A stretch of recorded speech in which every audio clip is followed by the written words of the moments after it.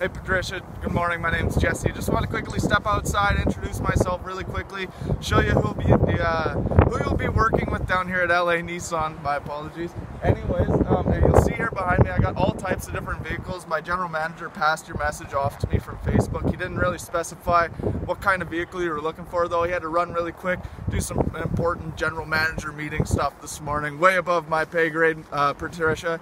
But basically, let me know what the best number is to give you a call at. I got tons of vehicles, over 1,100 to be exact. So let me know what I can do for you. Love to earn your business. I'll help you out the best way that I can. Thanks so much.